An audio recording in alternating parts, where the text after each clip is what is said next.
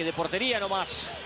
Hablaba José de que trató de hacer el partido, preparar el encuentro en Guayaquil a nivel del mar y luego llegar aquí, a la capital ecuatoriana.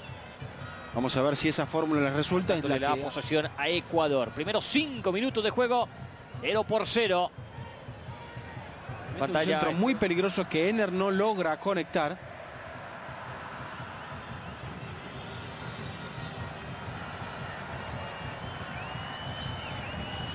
Estamos acostumbrados a ver el Atahualpa con mejor aforo, pero... Será, según se especula, podría llegar a ser la última temporada de Arsène Wenger al frente del equipo Chile.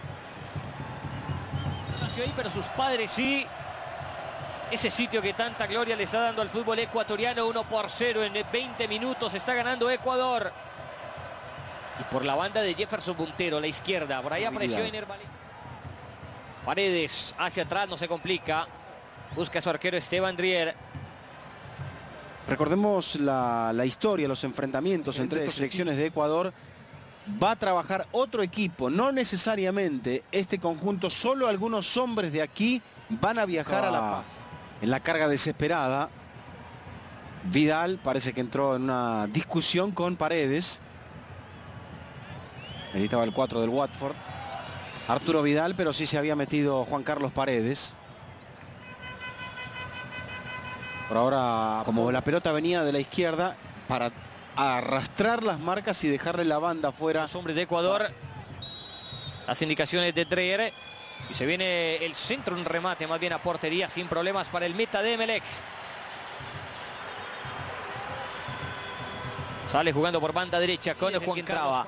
Recuerden eh, que a continuación eh, el halftime show presentado a ustedes por Sprint. Inteligente, inteligente Ramírez. En lugar de meter un centro a cualquier parte, prefirió jugar la pelota para sí. Aquí está habilitado. Ojo que está Vale. De nuevo atacando Ecuador. Jugador de Independiente del Valle. El subcampeón de América, de la Libertadores. Hoy jugador de River Plate. Es solo recibía Ener Valencia. Orejuela con Caicedo. Caicedo con Esteban Dreher. Dreher que le pega de primera intención. Allá va el zurdazo. Solo reciben los jugadores ecuatorianos. Como que ya en este momento... Ese partido en el último empate por eliminatorias en Quito de la selección chilena, el gol de Salas. Yo calculo que sí. Esa era la época de la dupla Sasá. La dupla Sasá, exactamente. Porque se quedó clavado en el césped y se estaba tomando el isquio de la pierna izquierda. O sea, vamos a ver. han tocado todos ellos muy poco la pelota. Han tenido todos ellos muy pocas opciones. Alexis. En el centro a las manos de Drier. Pregúntele a la selección Colombia. Si por un gol más, un gol menos, no sé. Ahora, no es mucha responsabilidad en un partido perdiendo ingresar a Nicolás Castillo. Probablemente sí. Cuatro hombres de Chile atacan. Alexi le ganó, atención a Paredes, se viene el descuento. Gran mano acaba de sacar Drier. Justo, justo la espalda a Paredes. No lo puede tocar. Sí. La saca con el costado. Rodilla. La costilla. Bueno, ahí no, no se puede apreciar bien. Le pegó al costado del cuerpo. O en la cara. O en la cara, creo que le través de la cuenta de Twitter. Arroba Sports, ahí está. Se acomoda muy bien el tocopillano. Sí, con el rostro, en pleno rostro, le pega la pelota. pero cuando lo han exigido, ahí ha estado el portero de Emelec. Se incorpora el saque de portería. Ese fue el primer disparo más diferencia. Lo que tiene que Chile va a caer a diferencia de gol de...